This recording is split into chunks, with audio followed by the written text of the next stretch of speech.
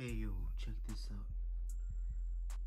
As you can see, my Brachypelma emilia is slanting down into the water dish. I know what you're thinking. No, she's not dead.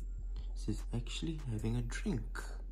Uh, as you can see, her mouth over there um, is touching the water so what she does is she slurps up the water and she hydrates herself.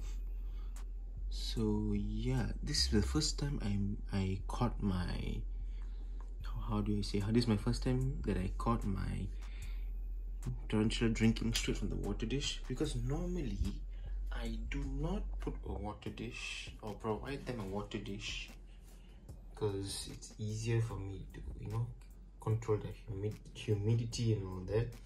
Uh, as you can see this is my Poecilotheria metallica. Um, as you can see over here I do, I do not put a water dish for the tarantulas due to the fact that I it's easy it'll be easier for me to control their humidity. Because some tarantulas they need crazy high humidity and some of them do not. They require very very dry climate.